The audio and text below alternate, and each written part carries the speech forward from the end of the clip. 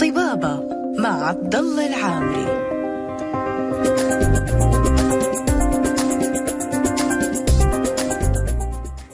السلام عليكم ورحمة الله. حياكم الله مستمعينا الكرام مستمعي إذاعة ألف ألف FM الموجة السعودية في برنامج طبابة وفي حلقة جديدة تبث من استوديو الإذاعة بال Red Sea Mall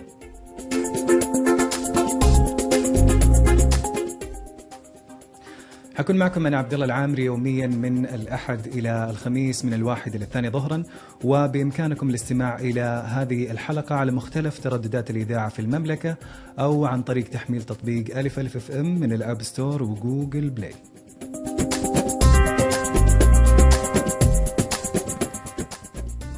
موضوع حلقتنا لليوم عن ولا تنسوا الفضل بينكم فإن شاء الله في هذه الحلقة اللي نتكلم فيها بشكل خاص عن آه، العلاقة الزوجية وأساس هذه العلاقة وكيف تنشأ العلاقة الزوجية الناجحة بداية طبعا من ما قبل آه، من قبل ما تتم هذه العلاقة بداية من الملكة ومراحلها ووصولا إلى آه هذا الزواج وكيف يمتد ويكون الزواج هذا مرتبط بعلاقات ناجحة من من أبناء من أرحام وإلى آخره. وأيضا حتى في جانب الصحة النفسية للزوجين أنهم كيف يكون عندهم صحة آه، نفسية ممتازة تنعكس على أسرهم وتنعكس على نفسيتهم. ونستقبل أسئلتكم على رقم الواتساب 055 66 89 01 أرحب بضيفة حلقتنا لليوم دكتورة دعاء سامي زهران مستشارة أسرية واجتماعية ونفسية وناشطة إعلامية. حياك الله دكتورة دعاء. يا هلا فيك. آه الآن في موضوعنا اللي يعني وإحنا قاعدين نتناقش قبل الحلقة. الموضوع هو ما بقول معقد لكن هو في نوع من التشعب. فإن شاء الله بتواجدك ودنا إن شاء الله نفصل اللي هو إنك كيف توصل آه إلى علاقة زوجية ناجحة. وهذه العلاقة زي ما نقول حتكون من يندرج من تحتها أسرة ناجحة والأسرة يعني هي تشكل أساس المجتمع. فبتواجدك إن شاء الله بنفصل فيها بشكل آه، رائع جدا. الآن دكتورة خلينا نتكلم في آه، العلاقات الزوجية أو في الأسرة بشكل عام. نرجع لورا في جانب آه، العريس والعروس. لما تبدأ الملكة هذه أو لما تبدأ الشوفة إيش المطلوب من العريس والعروسة عشان يحققوا الغاية اللي هو يكون في نوع من التوافق والانسجام. طيب بسم الله الرحمن الرحيم. آه، شكرا لاستضافتك. آه، موضوع اليوم جدا مهم. يعني آه، يمكن نقدر نقول إنه هو بداية اهتمام من أول نطفة وأول نقطة في حياتنا حياتنا الشخصية والاجتماعية وخاصة في الحياة الزوجية. أهتم ديننا بأدق التفاصيل وأهمل المجتمع أدق التفاصيل الرائعة في هذه في هذه النقاط. لو اهتمينا فيها من جميع الجوانب لوجدنا حياة أسرية رائعة لوجدنا أسر متكاتفة. بداية من اختيار الشريك. مم. اليوم آه إذا رجعنا بس لورا في اختيار الشريك الرجل آه نقطتين مهمة. من ترضون دينه وخلقه؟ ولكن اليوم المجتمع لا يبحث عن الرجل من جانب الدين والخلق. صارت مادية شوي. آه، أصبحت مم. مادية بشكل كبير. آه، ولد مين؟ سيارته منصبه يبحثوا حتى عن أرصدته المالية. إيش ورث إيش عنده. فخرجنا عن المنطوق الصحيح للحياة واختيار الشريك. أيضا لما نجي على الجانب الآخر في اختيار الزوجة. المرأة تنكح المرأة لمالها وجمالها. آه من هي؟ وبنت مين؟ فعلا المرأة لابد تكون كده مين هي هذه القدوة اللي حتربي هذا الجيل؟ مين هي هذه الإنسانة اللي حتصبر وتكون عون لهذا الرجل؟ بعدنا كل البعد. أصبحت الأم تخطب لولدها. بنت مين اللي حد لما تخرج معايا كده أنا أتفاخر بمرة ولدي. مين مين أمها؟ عشان لما نجلس في المجالس أقول أنا مرت ولدي فلانة أمها وأبوها فلان مين تجار إيش عندهم إيش ما عندهم. خرجنا عن ولدي إيش يبغى. احتياج ولدي للزوجة إيه؟ يبغى زوجة فقط إنجاب والتفريخ وبيت مفتوح ولا يبغى شريكة حياة؟ إيش يعني شريكة حياة؟ يعني إنسانة معايا في جميع ظروف الحياة. إنسانة تبدأ معايا من الصفر. في نقطة يا أستاذ عبد الله مرة مهم ممكن أنت كاليوم كشاب تمر فيها. اليوم كل شاب يبدأ حياته صح حتى لو كان ولد عيلة مرفهة وعنده إذا بدأ هو من الصفر فما حيكون بنفس وضع أهله الاجتماعي أو الاقتصادي؟ حيكون معتدل. صحيح أهله بيدعموه ولكن ما هو نفس مستوى المادي حق أبوه. فهنا ال- أنت لما تزوجتي هذا الشاب تزوجتي شخص معتدل ماليا دخل مختلف عن دخل الأسرة اللي أنت دخلتي عليها. فالوعي بهذا الأمر مهم. بمعنى إحنا اليوم نشوف كثير من مشاكل الشباب. هي هو راتبه كله مثلا راتبه كويس يعتبر في هذا المجتمع إنه مثلا راتبه 30 ألف عشان هو مثلا مقتدر ماليا راتبه 30 بس هي الشنطة اللي تبغاها قيمتها 50 لأني أنا آخذة ولد فلان المفترض إنه هو يجيبها. بس انت متزوجة شاب في مك... لسه عدوب وبدأ وضعه ال... ال- الاقتصادي أو الاجتماعي أو المهني. فالوعي اللي لازم يجي من الأسرة في هذا الموضوع ان اليوم أنا في الأخير آخذة شاب. لابد يكون شخص يتحمل مسؤولية. ما يكون هذا الشخص باني حياته اني أنا اليوم أبوي إيش حيحول لي؟ وإيش حيعطيني؟ وأمي إيش حتجيب لي؟ وإيش البطايق اللي معايا حقت أسرتي أو حقت أهلي؟ حتى الآن من طرف المرأة. اليوم في دراسات كثير أثبتت إنه المرأة أصبحت أغنى من الرجل. فالأرصدة المالية عند السيدات أعلى من الرجال. اليوم كثير من المناصب والرواتب العالية أصبحت عند السيدات. فبعض الرجال يبغى هذه الزوجة عشان منصب مثلا أو راتب أو حاجة. يجي يبغى حياة زوجية تقول له لا أنا زيي زيك موظفة. أنا دخلي أعلى. أنا وضعي أفضل.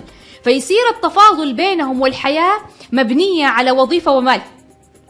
فانتهى أو خرجنا عن منطوق الحياة الأساسية اللي هي آه، حقوق وواجبات ومودة ورحمة وبناء عيلة وبناء أسرة.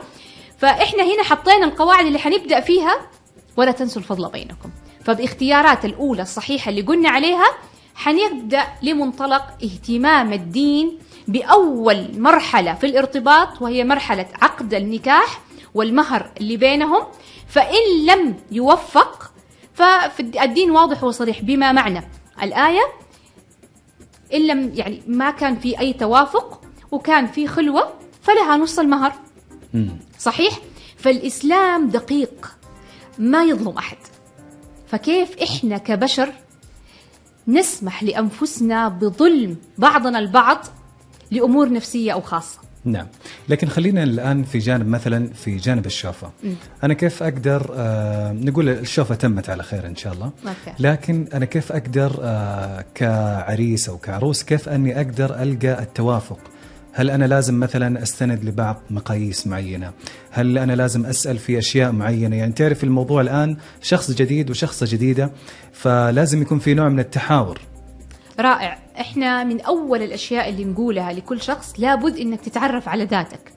فتعرف كل شخص على ذاته الآن في كثير من المقاييس ولكن يمكن أنا أعتمد كثيرا على مقياس علمي بحت مقياس هيرمان اللي حدد آه، النمطية الدماغية لكل شخص الهيمنة الدماغية لكل شخص. اليوم أنا لما أعرف أنا أي فص دماغي لما أنا أعرف أي ربع مهيمن في سلوكياتي هذا المقياس يهتم بالتفضيلات. بمعنى أنا إيش أفضل؟ ولكن مو إيش اللي أقدر وإيش اللي ما أقدر. أنت تقدر تسوي كل شيء. أنت تقدر تغير نفسك. ولكن هو يدرس التفضيلات عند الشخص. بمعنى لو أنا عملت المقياس اليوم وأنا مخطوبة سويت أنا المقياس وهو سوى المقياس المقياس بشكل سريع. عشان ما ندخل في تفاصيله عبارة عن 56 سؤال يحل به بنعم أو لا. آه، حنبين كل رقم يطلع لكل ربع A و B و C و D. ومنها حنعرف ال- الهيمنة الدماغية. حتسألني طب لكل شخص هيمنة دماغية واحد؟ حقول لك 90% لهم عدة هيمنات دماغية. بمعنى ممكن أنا أكون B و C. ممكن أنا أكون C ولكن الرقم اللي بعده على طول مؤثر فيا السي وال والA فلكل شخص عدة هيمنات. طب أنا والله أشوف نفسي هنا وهنا وهنا. غلط؟ لا مو غلط. أيوه. طيب أنا والله إيه وشريكي سي وإحنا متنافرين ما ينفع نعيش لا تنفعوا تعيشوا. يعني أكمل الخطوبة كمل الخطوبة. طب إيش نسوي؟ خطة علاجية أسبوعية.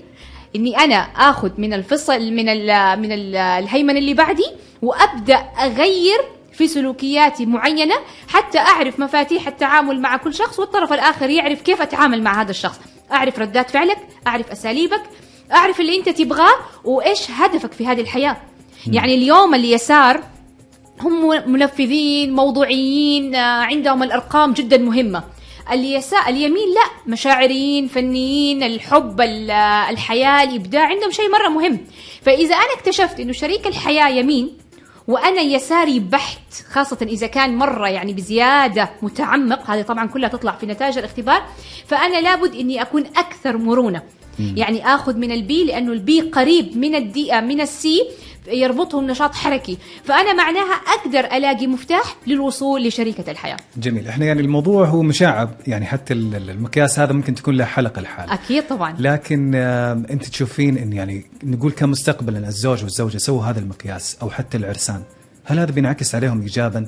يعني آه، يكون في نوع من التوافق والتناغم ومعرفة زي ما نقول هذا مداخيله من وين وهي مداخيلها من وين؟ طبعا يعني آه، إحنا عملناه عدة مرات وإذا يتابعوا وسائل التواصل آه، عملته على عدد من المشاهير وشفنا مدى توافق الاختبار عليهم وجدنا يعني آه، يقولوا يا ريت من زمان سويناه. يعني فعلاً. حتى اللي تخطوا هذه المرحلة. طبعا. لهم سنوات متزوجين وعملوا الاختبار واكتشفوا ليش هو يكركب وليش هي بتجري. ما بتع... ما بتعاندوا لكن هي هيمنتها كده وهو هيمنته كده. فاكتشفوا إنه ليش الخلاف البسيط اللي بيصير أسبابه طلع اختلاف الأنماط الدماغية. فاللي اللي منفصل يقدر يسويه واللي دوبه خاطب واللي متزوج واللي ليهم 20 و30 سنة يسووه وحيستفيدوا وحيستمتعوا بمعرفة الهيمنات الدماغية لبعضهم البعض. جميل. كلام رائع. يعني آه، الاستناد على العلم بالذات يعني هذا إن شاء الله ينعكس بشكل إيجابي. لأن في زي ما تعرفين دكتورة في بعض العلوم يعني تكون مستندة على كلام فارغ مستندة على بعض ال- الأشياء اللي ما لها صلة بالعلم نهائيا. مستندة على الآراء الشخصية. أو مثلا الآراء الشخصية. يا. لكن نطلع فاصل دكتورة ونكمل في موضوعنا لليوم. ولا تنسوا الفضل بينكم. فاصل مستمعينا. ولا نزال أيضا نستقبل أسئلتكم على رقم الواتساب 055 66 89 01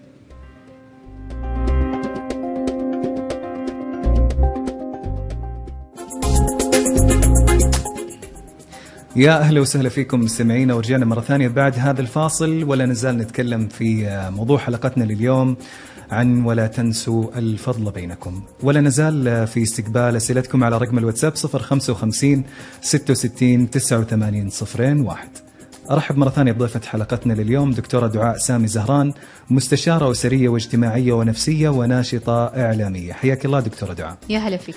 الآن في قبل الفاصل كنا نتكلم في جانب آه، اختيار شريك ال- ال- الحياة أو شريك الزواج سواء كان من منظور العروس أو من منظور العريس. ومثل ما ذكرت يعني الموضوع هو يعتمد على عوامل عدة سواء من عامل الدين آه، ومثل ما ذكرت تنكح المرأة لمالها وحسبها وجمالها ونسبها وإلى آخره. والزو- والزوج يعني كذلك يعني آه، من ترضون دينه وإلى آخر الحديث. فالآن في منظور ديني لكن من منظور العلمي مثل ما ذكرت يعني في بعض المقاييس اللي تقام مثل مقياس آه، هيرمان يعني آه، الاستناد على الحقائق العلمية. هذا الموضوع جميل يعني مثل ما ذكرت سواء كان آه، بعض المهام في الفص الأيمن أو الفص الأيسر والبحث عن التوافق. وطبعا في ناس تتوقع أن لازم يكون في توافق تام مع أن أنا ممكن من وجهة نظري إن لازم يكون في شوية اختلاف. طبيعي. لأن التوافق التام هذه مشكلة خاص بتملون من بعض. صحيح. إذا هي زيك وانت زيها يعني لازم يكون في شوية زي ما نقول تفاعل في تضاد في بعض النقاط مو في كل النقاط. الآن نفترض إن إن شاء الله هذا الزواج تم على خير. ففي مرحلة الزواج سواء كانت في بدايتها أو في مراحل متقدمة. ال- الزوج والزوجة كيف يقدروا يحافظون آه، على العناصر اللي تخلي زواجهم يتم ويكون بشكل ممتاز؟ هل هم لازم يستندون مثلا على دورات بشكل مكثف أو هل لازم نقول ممكن يكون في تواجه من حين لآخر أقصد بالتواجه اللي يكون في جلسة آه، يتناقشون فيها سواء كانت من المشاكل اللي صارت أو التوجهات المستقبلية. طيب اولا الدورات المستمرة هي دافع رائع لاستمرارية الحياة على على منظوم مرتب. على أسس صحيحة بمعنى إحنا اليوم بشر ما إحنا ما إحنا مجردين من الخطأ. بالعكس وكل ما كان في حضور دورات راقي يناسب احتياجي فأنا حستفيد. يعني لو حضرت الدورة وسمعت عشر كلمات خرجت بأربعة أنا مستفيدة. ولكن لابد من اختيار الجهة المقام منها أو, أو, أو بالمتحدث ضروري أعرف مين. لتوافق الميول والاتجاه عند هذا الأخصائي أو هذا المدرب. الآن نجد كثير من اللي بيظهروا عندنا في السوشيال ميديا وغيرها آه، يناشدوا بأمور هي غير واقعية. طيب؟ زي مثلا؟ مثلا آه، بعض اليوم السيدات يناشدوا بالنسويات الموجودة بمعنى آه إنه دائما أنظري لنفسك. تترك بيتها تترك زوجها. أختلف الحقوق اللي هي لازم تقوم بها يعني هل أنا ضروري أقوم بواجب بيتي آه، وأولادي؟ لا. أنا أجيب دادة هي تقوم بالواجبات. طب شرعا؟ طب مجتمعا؟ لا. إحنا مجتمع عندنا أساسيات التربية مهمة. لقول الرسول صلى الله عليه وسلم ما من مسلم يسترعيه الله رعية يموت يوم يموت وهو غاش لرعيته إلا حرم الله عليه الجنة. فتربية الأم لأبنائها ومعرفة حقوقهم وواجباتهم حقوق المرأة لزوجها هو أمر مطلوب شرعا. ما في خيار. يعني مو اليوم أنا أم أختار أبغى أربي ولا ما أبغى. أبغى أسوي ولا ما أبغى. هو كان عندك اختيار تتزوجي أو لا. بس من يوم ما أنت قررتي تكوني أم لابد تكوني أم بمعنى كلمة أم. من يوم ما قررتي تكوني زوجة فلا بد أن تعي أنه هذا الزوج له حقوق وواجبات. ما حعيش زي ما أنا بنت في بيت أهلي. لا بد الحياة تختلف. فالإيمان الكامل أن هناك حقوق وواجبات لشريك الحياة. أولا الزوج وبعدها الأبناء الأهل الزوج المجتمع الحياة عامة. لابد أن تختلف عن حياتك السابقة. هنا يكون في توافق. ولكن بعض الأخصائيين والموجودين يعطينا أنه لا بما إنك أنت موظفة ولك وظيفتك وراتبك وحقوقك فأنت غير ملزمة بالقيام بالواجبات الأخرى لأنك أنت اليوم بتقومي بنفس واجباته. وهذه أمور خاطئة تماما يغرزوها في في في أذهان البنات خاصة المراهقات الجداد. فخلاص هي تتزوج يعني أحد الأشخاص بيقول لي راح يدور بيت لولده يقول البيوت بدون مطابخ. المطبخ بس سيرفيس زي حق الأوتيل. فبيسأل الرجال كيف يعني أنا بدور البيوت؟ قال له لا الآن ما في بنات يطبخوا. لأنه المفهوم الجديد إنه انت مو واجب عليك تطبخ. ترى والله أنا زوجة وأم متعة. لما اليوم أسوي أكلة يحبوها وينبسطوا كلهم. فهو المتعة اللي سبحان الله ربنا أعطانا هي في خدمتي أو عطائي لابنائي ترى حاجة مرة حلوة ترى هي مو تقليل من شأن الشخص. هذا اللي إحنا نبغى نوصله. يمكن اليوم أنا أعطيك من خبرتي أنا كوني زوجة وأم. أنا اليوم لما أسوي أكلة وينبسطوا منها عندي متعة رائعة. اليوم لما نتشارك بعض في أمور البيت في حقوق زوجي لما مثلا اليوم أرسل له فطور ولا أعمل له شيء أنا أستمتع. هو مو تقليل من ذاتي. لا والله مو عشان أنا والله عندي شغل آه ما المفترض إني أنا أقوم أقوم له بأي دور. لا بالعكس أنا أستمتع إني أنا بأجمع بين أدواري العملية وبين دوره الأساسي كزوج. فالاستمتاع بما أعطانا الله من متع. ترى الزوج يعني هبة وهدية من الله. والأبناء أيضا هدية ومتعة وحاجة جميلة من عند الله. فإن أنا ما شكرت الله على هذه النعم الله يأخذها مني. ولأني أنا ما استشعرت ما حسيت بهذه القيمة. فاليوم أنا أقول لكل زوجة أشعري بهذه القيمة. لكل زوج أشعر بهذه الهدية والنعمة. نعمة الزوجة نعمة الأسرة نعمة الاستقرار. فسعادتنا وحمدنا دائما لربنا على هذه الأشياء يعطينا ترى دافع وقوة أني أنا أسوي أحسن أني أنا أعطي أكثر أني أنا ما اللي أنا أتغافل عن الأخطاء الموجودة. إحنا بشر إحنا اليوم أول شيء إحنا بنغلط في حق أنفسنا في أشياء كثير. إحنا بنقصر في حق رب العالمين. يعني نعمة من نعم الله ما نقدر نوفيها. وإحنا بنقصر في حقوق رب العالمين. ويقول ربنا خير الخطاؤون التوابون. انت توب واستغفر ربنا ينزل كل يوم لآخر السماء ويقول هل من داعي هل من تائب هل من مستغفر. فإحنا بشر لبعض. طبيعي نغلط طبيعي ولكن الأصل فيها الرجوع عن الخطأ الاعتراف بالخطا والرجوع عنه. فكل هذا الكلام اللي إحنا بنقوله إنه يا جماعة ترى أي أحد فات الوقت ما انتهى. بالعكس إحنا اليوم أولاد اليوم زي ما بيقولوا. نرجع ونعيد عن اخطائنا ونعيد عن الأشياء اللي صارت. وما في أحد معصوم إحنا بشر. ولكن لابد أن نعي على كل خطأ أو مشكلة ارتكبناها في حق أنفسنا قبل غيرنا عشان فعلا يكون التغيير صحيح. على كذا دكتورة دعاء المفروض يعني هذا الكلام كله يصير من بدري.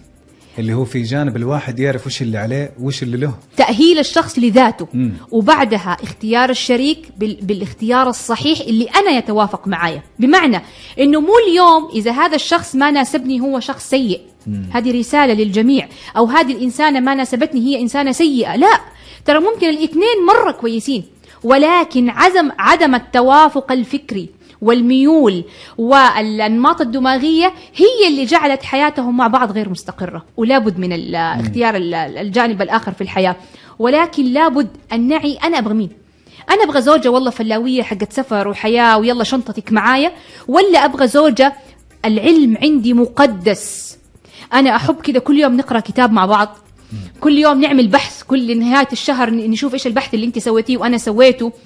فلما اليوم نعرف ميول بعض. أنا ما أجي أقول هذا إنسان فارغ إنسان فاضي إنسان ما أو هي إنسانة يعني ما عندها مسؤولية. أنا إيش اخترت. يعني. يعني بشكل عام هو زي ما نقول كل واحد يعرف مفتاح الثاني. بالضبط. مو- واول شيء إنك تعرف مفتاحك أنت كيف. بالضبط. أصعب شيء اليوم أنا أقول أعايب على شخص وأنا نفسي ما أعرف أنا إيش أبغى. نعم. أعيد والد في الكلام وماني واصل أنا إيش أبغى. بس تقعد معاه شوي يقول إيوه والله صح تصدق أنا كنت أبغى كذا. فلو أنت اكتشفت إيش كنت تبغى كان اختصرت على نفسك طريق مرة طويل. نعم. نكمل معك دكتورة دعاء في هذا الموضوع لكن بعد الفاصل فاصل مستمعينا ولا تزال حلقتنا مستمرة في موضوعنا لليوم ولا تنسوا الفضل بينكم. أيضا اللي عنده أي سؤال أو استفسار يشاركنا هو على رقم الواتساب 055 66 89 01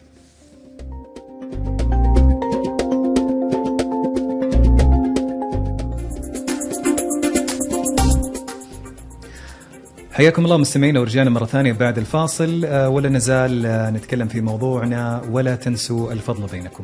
آه، واللي عنده أي سؤال أو استفسار يشاركنا هو على رقم الواتساب 055 66 89 صفرين واحد. أرحب مرة ثانية بضيفتنا لليوم دكتورة دعاء سامي زهران مستشارة أسرية واجتماعية ونفسية وناشطة إعلامية. حياك الله دكتورة دعاء. أهلا فيك. الآن في قبل الفاصل كنا نتكلم في جانب العلاقة آه، علاقة العلاقة الأسرية سواء في مختلف مراحلها كيف تكون طريقة زي ما نقول توطيد هذه العلاقة سواء كان بأخذ دورات أو حتى بمحاولة البحث عن زي ما نقول مفاتيح كل شخص وبناء عليه إن شاء الله بتوضح الأمور أكثر. لكن الآن نفترض أن صار في خلاف والخلاف هذا شيء طبيعي أنه لازم يصير أصلا سواء كان في مرحلة أول المراحل اللي هو في مرحلة آه، الملكة أو حتى في أولى مراحل الزواج أو ما بعد المراحل المتقدمة من الزواج. ففي كل مرحلة كيف تكون آلية الحل؟ طيب ممتاز. آه عاد أبغى أقول كذا حديث بسيط نستند بعده على التعاملات اللي إحنا اللي بنقول عنها. عن الرسول صلى الله عليه وسلم آه قال لأتين على الناس زمان عضوض يعض المؤمن على ما في يديه وينسى الفضل. آه المشكلة هذه إحنا فعلا اليوم نواجهها بشكل كبير. بمعنى تكون حياتهم مستقرة. ما أقدر أقول لك مية في المية حياتهم فظيعة. أكيد في قصور من أحد الأطراف. إحنا جايين من بيئات مختلفة. هو من بيئة وأسلوب حياة وثقافة وأنا من بيئة وأسلوب حياة وثقافة. ترى رغم حتى اللي أخذين من الأقارب مم. أيضا يجدوا هذا ال- الاختلاف. اليوم أنا بيت خالتي مو زي بيت عمي مو زي بيتنا. فكيف؟ حتى ممكن الأخوان. بالضبط مخ- هذا تلقاه يشتغل في مكان وهذا في مكان فكل واحد يصير له يعني زي ما نقول بيئة خاصة فيه. بالضبط. فتخيل لما فعلا هو بيئة مختلفة تماما من منطقة مختلفة من عائلة مختلفة. فسبحان الله من وجود المشاكل سواء لاختلاف آه، سلوكيات الحياة لاختلاف ثقافات الأسر يبدأ هنا العراك يعني أنا عندي واحدة من القصص عندها مشكلة مع أهل زوجها عشان هي تقرف من الأكل الخادمات. وكل ما تروح جمعة العيلة ما ترضى تاكل ومعاها في شنطتها ملعقتها وشوكتها وتجيب أكلها عشان هي البيت كله خادمات اللي يقوموا بخدمة الضيوف. فهنا في عراك مع أهل زوجها. فأصبحت العلاقة مت- متوتر متوترة. طيب الحل الوحيد اللي قدرت تاخذه الرجل إنه أنت لا عاد تروحي اي وجبة. وانفصلت ال- العلاقتين الاثنين بسبب هذه المشكلة. طيب إذا كان الرجل متعاون متفاهم مع زوجته حيعرف كيف يحل المواضيع وتمشي. لكن بعض الرجال يقول لك لا أنا متزوج عشان أعيش حياة أسرية أو ع- حلا- حياة عائلية آه، حلوة. أبغى جمعة أهلي ونروح دائما ونأكل ونشرب ونعزمهم ونروح ونجي فأنت حتسببي لي مشكلة. يسكت مرة اثنين ثلاثة بعدين يجد إنه الانفصال هو أفضل حل لعدم تقبله لهذه المشاكل المتكررة من قبل زوجته وأهله. الحديث هذا رائع. ليه؟ إحنا نبدأ ندور نأكل في بعض. نبدأ ندور نطلع في عيوب بعض. ترى يكونوا هم اثنين مرة كويسين. بس هو مو عارف يقول إني أنا اضطريت أطلقها عشان هي تقرف من الشغالات وبيت أهلي يطبخوا شغالات. حطها في يا. كصلة رحم. بالضبط. إنه كيف حتقطعني من أهلي؟ عرفت كيف؟ لكن الأمر بسيط. لو أكتفى بكلمة ما توافقنا. الله ما كتب. خلاص ما سبحان الله لقمة وانقطعت. ما لنا نصيب مع بعض. ترى الكلمتين هذه الحلوة ما تضر. ولكن طريقة إنهاء العلاقة بين الطرفين سواء من المرأة والرجل هي هذه الكارثة في إنهاء العلاقات اللي بيننا. لازم أقول في انه السبعه ودمتها ولازم أقول فيها ترى أنا شاكك إذا عندها شيء. ولا أحط إنها إنسانة مهملة وما كانت تدري عن بيتها أو إنسانة مو نظيفة أو إنسانة ما تعطي حقوق زوجية. عشان أنا طلقت. ترى يا ابن الناس أبسط أبسط الأمور في الدين سبحان الله إذا مات في توافق فيقول لك ربنا خلاص امساككم بمعروف أو تسريحهم بإحسان. يعني حتى الشرع ما قال لك أمسك عليها مصيبة عشان تطلق. سبحان الله إذا ما توافقتوا وطلبوا وحسيت إنه في تنافر ترى عادي. أطلب الانفصال وبكل أدب واحترام. لذلك الآية الكريمة ولا تنسوا الفضل بينكم. يعني مو لازم بانتهاء الحياة أو انتهاء الميثاق الغليظ في أي مرحلة من مراحله سواء أول مراحل الإملاك أو بعد 30 50 سنة عشرة مو لازم أطلع العيوب والبلاوي و... وأبدأ أضارب وأحارب زي ما إحنا بنشوف اليوم في مح... محكمة الأحوال الشخصية يستخدموا الأبناء كسلاح للعراك فيما بينهم يبدأ لا أبغى حقوقي أبغى بيتي أبغى أشيائي أبغى ملابسي. يعني تجد إنه الدنيا ترى الدنيا ما تستاهل. طيب كيف الآن. الزوجين عشان آه، نقدر نحاول نجمع الموضوع يا. طيب الآن الزوجين إذا صار في خلاف إيش الطريقة اللي تنحل يعني أنا من وجهة نظري ممكن أول شيء حتى لو كان في أبناء ضروري إن لازم يوخرون عن الأطفال لأن تعرفين لما يكون في صياح صح. وهي بتاخذ وهو بيعطي وصياح وصياح قدام الأطفال خاصة لو كانوا صغار الموضوع فيه بيكون يعني مثلا إن أمي انهانت قدامي مم. أو حتى العكس يعني وهكذا يا المفترض أصلا أي خلاف يكون بعيد عن الأبناء. ولكن شوف إحنا عشان نتكلم في حياة كده يعني آه، جوهرية رائعة طبيعية المفروض تصير ممكن يكون في حوار أمام الأبناء كحوار عام ولكن النقاش ال- القوي صلب الموضوع. صلب الموضوع اتخاذ قرارات هذا لابد يكون من الأم والأب. آه الأم والأب لما يتخذوا هذا القرار لابد يراجعوا أنفسهم ألف مرة. ولابد يخرجوا أبنائهم من كل العراك اللي ما بينهم. فتصفية النفوس فيما بينهم بكل أدب واحترام ترى هي سلامة نفسية ل- للمدى العمر كله. اليوم لما أنا خارجة مشحونة وهو خارج مشحون وأول وسيلة اعور ويعورني بها هو عيالنا. سواء ترى كانوا صغار أو كبار. يعني أمس واحدة من الحالات جاتني آه، محرومة من أبنائها ثمانية سنين بس ترى عيالها كبار. تحريض الأب لابنائه أمكم مو كويسه ام أيوة، التحريض. هذه أكبر مشكلة نواجهها. طب إحنا نترك ابنائنا المفترض الأم والأب اليوم هذه نصيحة كمان رائعة. بوجود الخلاف ترى يمكن مو أبوك سيء ترى يمكن مو أمك سيئة بس هم ما توافقوا. فيمكن الاثنين ترى مرة رائعين ونموذج رائع للأمومة والأبوة ولكن عدم توافقهم أدى للانفصال. فلا تزعل منهم قوي ولا تاخذ في خاطرك إنكم ما بتقعدوا بسفره ولا ما بتجتمعوا ولا مو زي أصحابكم تحت سقف واحد. ولكن ترى ممكن يكونوا أكثر احترام تقدير تعزيز لمكانة كل واحد للآخر وهم بعيدين. وممكن يكونوا تحت سقف واحد وتسمع السب والإهانة والتحقير وال وال وال والتعدي وما يكون في أمان واستقرار أسري. فلابد من الوعي لهذه المواضيع. طيب إذا اليوم صار انفصال لابد إنه إحنا نحط كل الدنيا في كوم والمشاكل في كوم ونحط أبنائنا في كوم آخر. بمعنى كل ما كان عندنا سلام وأمان وارتقاء في طلاق كده زي ما نقول طلاق راقي كل ما كان أنت بعدت عن عن الحروب النفسية وأيضا أمنت الحياة السليمة الآمنة لأبنائك. لأنه إذا اليوم أنا قررت الانفصال بعراك أول المتضررين في الأب... في ال- في الموضوع الأبناء في موضوع الزيارة في موضوع الحضانة في موضوع النفقة في موضوع الدراسة. فأنا ما خرجت بموضوع أنا خرجت بمعركة من المشاكل. فالتخلص من هذه المعركة بمعنى طيب يا بنت الناس امساكه بمعروف أو تسريح بإحسان إيش اللي ترضيه وإيش اللي تبغيه؟ آه، يوفي الأبناء. بمعنى اليوم في سيدات تقول لك لا أنا وضعي الأه- الأسري ما يسمح ان ناخذ الأولاد. خلي الأولاد عندك أنت حتربي أحسن تربية. ترى أنا من أسمع الكلمة دي من الأم مرة شكرا إنك بتعترفي إنك أنت الآن ما أنت مؤهلة لأي أسباب كانت إنك أنت تربي الأولاد. لأنهم هم ما هو حرب. لا أنا حوريك حطلق وحاخذهم إذا أي، أنت شوفي. وجدتي نفسك غير مؤهلة أو وضعك الآن ما يسمح مو عيب ولا غلط لما تقولي له أنت ربي أو أنت كمل المسؤولية. إلين أنا أقدر. هنا أنت عملتي أول المراحل الصح في تجاوز هذه المرحلة. نعم. وحتكون ترى مكانتك كبيرة عند أولادك. لكن خلينا قبل ما توصل لطلاق وإلى هذه التفاصيل يعني هل من المفترض مثلا على الزوجين نقول توهم تزوجوا هل لازم يكون في نوع زي ما نقول آه، من وضع بعض الأنظمة؟ مثلا إذا كان في خلاف ما تعدي 24 ساعة إلا وإحنا حالينه. أو مثلا كل واحد يعني يكون لهم آلية معينة عشان الخلافات هذه يكون لها إنهاء بشكل سريع. ما تتطور. مم. ممتاز. اليوم أنا أجي للشريك ترى أنا إنسانة أحب الحوار مثلا. فيا ابن الناس لو زعلت مني تعال نتحاور. وأترك للعنان الوقت أعطيني أفضفض في اللي أنا أبغاه.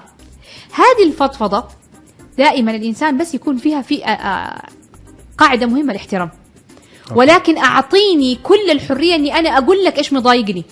لأنه بعض الأحيان أنا كابتة كابتة كابتة. تجي الشعر التي قسمت ظهر البعير. تجي مشكلة بسيطة تقوم القيامة وي- ويطلع كلام ومواضيع ما لها وقتها. مو وقتها. ولكن عدم الحوار المستمر بين الزوجين يجعل العلاقة المتوترة هذه. فلا بد يكون دائما في حوار. طيب يجي الرجل يقول لا ترى يا بنت الناس أنا لما أجي من عملي أحب آخذ قيلولة وبعدين أي شيء تبي تقوليه قوليه فهي عرفت متى تتكلم معاه. هي تجي السيدة تقول له أنا مثلا أيام آه، مثلا أكون عندي مشكلة معينة أو مثلا أكون بطبخ لا تجي المطبخ توترني وتكلمني أو تطلب مني شيء. فاحترامه لأوقات رغبتها في الحد في الحوار أيضا يقلل من توتر المشكلة. هنا هذه مفاتيحنا. أنا اليوم أجي أجي جاء كلمني وأنا غير غير غير جاهزة للكلام المفترض إني أقول له ممكن بس تعطيني ساعة أو اثنين عشان أجي أكلمك؟ هنا مرة حلو. لكن إذا فرض الطرف الآخر الحوار في الوقت اللي هو يبغاه يعني أكثر الرجال يقول لك أول ما أفتح باب البيت زي العفريتة قدامي. وتبغى تكب كل اللي عندها. ولازم أسمع. ولا تلوم عفشها وتدق على أبوه وتمشي. طب يا بنت الناس أولا الوقت غير لائق. ال- الأسلوب غير صحيح. طريقة ردة الفعل أسوأ وأسبأ إن أنت خرجتي. طيب الرجال يكبر راسه. أبوك جاء أخذك أبوك يرجعك. هنا صارت مشكلة ثانية. بالضبط. فنقدر ند... فبنبدأ ندخل لمحاور تانية بعيده عن المشكلة. لكن إذا كنتوا عاقلين واحترمتي رغبته فأنت عرفتي متى يتم الحوار ومتى تنهي الحوار. متى هذا الشخص ينفع أتكلم معاها ومتى ما أكلمها. إيش الكلام اللي يجرحها ما أتطرق له وإيش الأسلوب اللي يبغاني أكلمه. بس في نقطة أخيرة قبل ما آه نقطع هذه النقطة. بعض الأحيان الطرف الثاني يكون ما يحب الحوار الطويل. وأنا أحتاج فرجاء من كل شخص خاصة الرجال اللي ما يحبوا الحوار الطويل أو الكلام الكثير أعطيها فرصة فضفض. عشان تعطيك مثلاً. بالضبط. أعطيها الطريقة اللي تفضفض فيه وأسمعها وأحاورها وأعطيها صدقني المرأة إذا فضفضت حتعطيك حياة أحلى منها ما في. نكمل معك دكتورة دعاء لكن بعد هذا الفاصل فاصل مستمعينا ولا نزال أو لا تزال حلقتنا مستمرة عن ولا تنسوا الفضل بينكم. واللي عنده أي سؤال أو استفسار يشاركنا هو على رقم الواتساب 055 66 89 01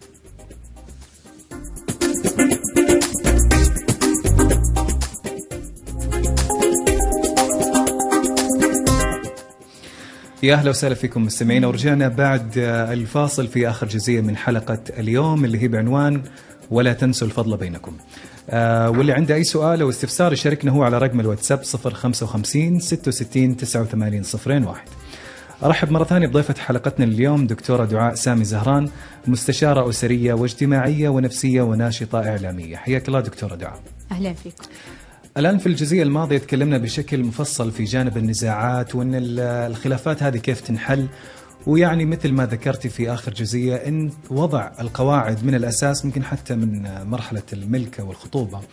لأن هذيك المرحلة زي ما نقول هي مرحلة التأسيس. فكل واحد يقول اللي عنده والنظام اللي يحب يمشي عليه وبناء عليه ممكن تقل النزاعات وتكون طريقة حلها أسهل وما يكون إنها توصل مثلا لقدام الأبناء واللي بتنعكس بشكل سلبي على الأبناء وعلى الزوجين وعلى الأسرة ككل. الآن دكتورة في جانب الصحة النفسية. كيف ال- الزوجين يقدروا إنهم مثلا يعززوا من جانب صحتهم النفسية أو إنهم مثلا يكون في زيارة دورية لطبيب نفسي لأن مثل ما تعرفين يعني في بعض الأزواج من الممكن هو يعاني من مرض نفسي وبطريقة أو بأخرى أو حتى يعني الزوجة إنهم يخبون هذا الموضوع ومع الوقت يكتشفون إنه فلان عنده ثنائي القطب فلان عندها مرض آخر وبيأثر على زواجهم من الممكن توصل للطلاق. ممتاز. طيب اولا دائما إحنا نقول طبيب الأسرة. دائما أنا أتمنى إنه كل شخص اليوم يسمعنا وكل شخص موجود لابد يكون له مستشاره الخاص. وفي فرق كبير ترى بين لما أقول مستشار أخصائي وبين طبيب. المستشار والأخصائي هو اللي لابد يكون مرافق للشخص. ليه؟ لأنه مسؤول عن أي مشكلة أو خلاف أو أو شيء يتعرض له ال- الفرد. أما الطبيب إذا أصبحت هناك مشكلة زي ما نقول ذهانيه مرضية لابد من علاجها. فالشخص لابد أن يزور أو يراجع المستشار والأخصائي لحل أي خلاف لمعرفة كيفية التعاملات ال- في العلاقات الزوجية كيف أتعامل مع ابني كيف أتعامل مع الحياة الجديدة. هذا تكون عن طريق الأخصائي والمستشار. الطبيب إذا كانت هناك مشكلة. أما وجود الأمراض النفسية فبعض الأمراض النفسية وراثية. بمعنى إنه أنا أعرف إنه أنا مثلا عندي أحد في العيلة عنده مرض وراثي في نفسي. فلا بد إنه الشريك من باب عدم الغش إنه هو يكون عنده علم. زي لما إحنا في الأمراض الوراثية نعرف مثلا الضغط السكر ال- الأمراض ال- الدم هذه الأمور. لابد أن أكون واضحة وصريحة سواء المرأة أو الرجل أن هناك أمراض وراثية.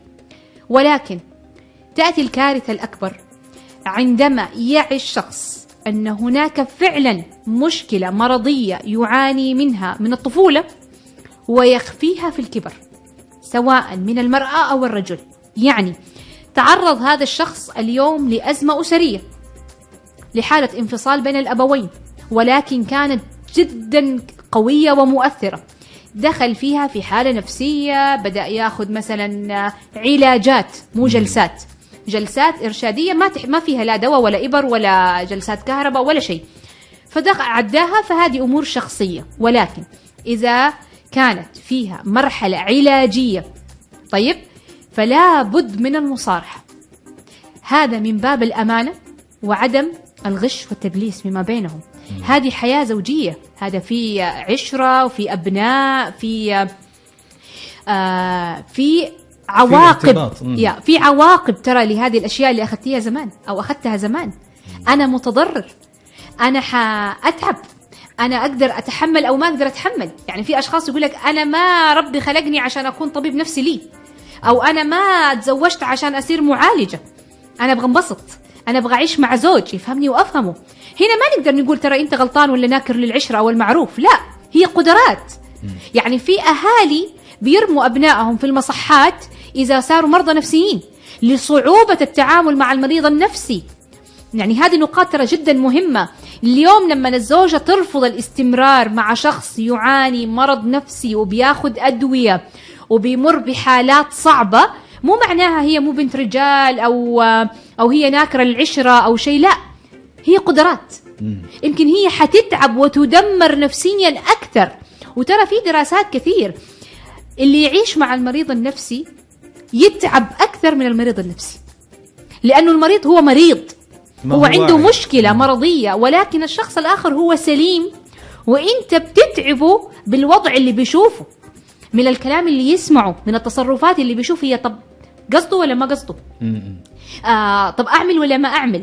طب هو يخصني ولا لا؟ عرفت؟ لأنه سليم بيفكر في أدق التفاصيل ولكن المريض هو خلاص مو عارف.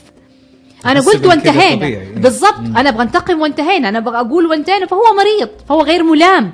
يعني حتى في بعض الحالات خلاص إذا وصل مرحلة مرضية متعمقة فخلاص يعني يعني ما هو سوي. عرفت كيف؟ مرفوع عنه القلم في أمور معينة في حالات طبعا معينة. فالاعتراف بهذه المرحلة نصيحة طبعا. الأهم في المصارحة هم الأهل. كثير من الأبناء يعرف عنده مشكلة ولكن ليس بعمق أهله. يعني الأسرة ترى أمه وأبوه يعرفوا أكثر عن حالته. وممكن مخبيين. ويروحوا يخطبوا ويزوجوا وكل شيء. لما تسير المشاكل. أوه عنده كذا أي لا لا أهل الطرف الآخر هم اللي اكتشفوا. أي. ولما يصارحوهم يقول لك أيوه إحنا كنا نعرف بس قلنا نجرب. بس في مرات يعني يكون آه، لا الاهل دارين ولا هو داري. لا إذا كان من الطفولة فلا بد يكونوا يعرفوا. هذه حالات إذا كان مرضي فلا بد يصير في تشنج يصير في آه آه ردات فعل آه غضب شديدة في صرع في أشياء لابد تكون إذا مرضيه فهي واضحة. عنده اكتئاب شديد يعزل نفسه تقطع شعرها ياكلوا أظافيرهم يأذوا نفسهم يحفروا في يدهم. هذه الأشياء كلها واضحة. ولكن تغافل الأهل عنها تسبب مضاعفات. علاجهم بعد مضاعفات سبب مشكلة عند هذا الشخص. سكوتهم عن الموضوع وإقبال لمرحلة جديدة مرحلة الزواج وعدم الاعتراف للطرف الآخر إنه هذا كان عنده مشكلة حتى لو من الطفولة. هنا أكبر مشكلة ترى. واليوم ممكن نشوف أكيد في إحصائيات في وزارة العدل كثير في حالات طلاق بسبب الأمراض النفسية والعقد النفسية. ترى مو بس نقول أمراض حلو لو تطرقنا لمشكلة كمان العقد النفسية. اليوم والله أنا أبويا كان يضرب أمي طب إيش فيها؟ معناه كل الحريم لازم نضربه. اليوم والله أنا أمي كانت آه، ما تحترم أبويا فطبيعي المرأة ما تحترم الرجل. هذه عقد. هذه ما هي أساسيات.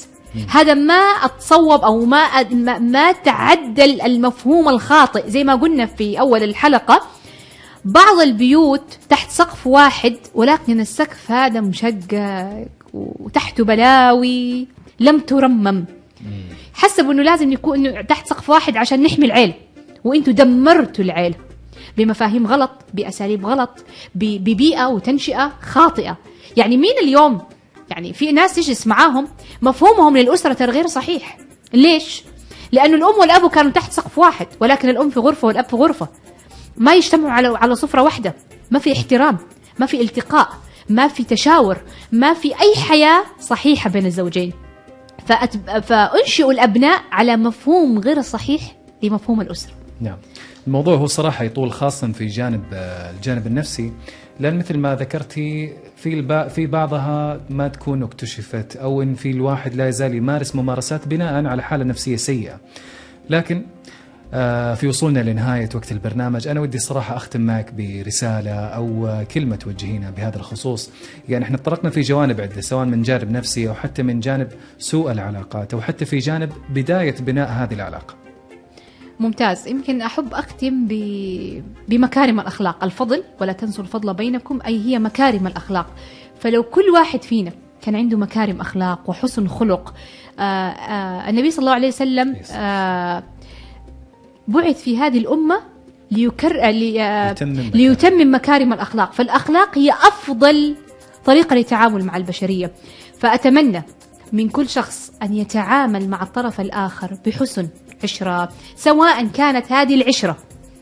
فيها مساوئ فيها أخطاء فيها أي- الما يكون منها لابد إنه إحنا نختمها بكلمة طيبة وعلاقة طيبة وتشويه الطرف الآخر. ترى ليس انتصار. ما هو الا تشويه للشخص نفسه. ف ولا تنسوا الفضل بينكم. هي آية صريحة. تدينا دائما إلى السلام والأمان النفسي والداخلي. لما أنا أكون متصالح لما أنا أكون خلاص. يا ابن الناس حياة وانتهت عشرة وانتهت. نؤمن بقضاء الله خيره وشره. هذا هو الإيمان بقضاء الله خيره وشره. مو لازم الطعن أو التجريح أو الإساءة أو الإهانة للطرف الآخر. فكل ما كنا متصافيين مع أنفسنا متصالحين مع القدر مؤمنين بما كتب الله لنا صدقني حنكون أكثر سلام وأكثر حسن وصدقني في عندنا آه، كثير حالات بعد الطلاق أصبحت علاقاتهم أحلى وأرتب. وأنقى حتى في أسلوب التعامل بسبب ولا تنسوا الفضل بينكم أخيرا الله يعطيك الف عافية دكتورة دعاء. يعني حلقة رائعة جدا. لا ولا يزال الصراحة في بعض المواضيع لا زال فيها بالإمكان نناقش فيها أكثر وأكثر.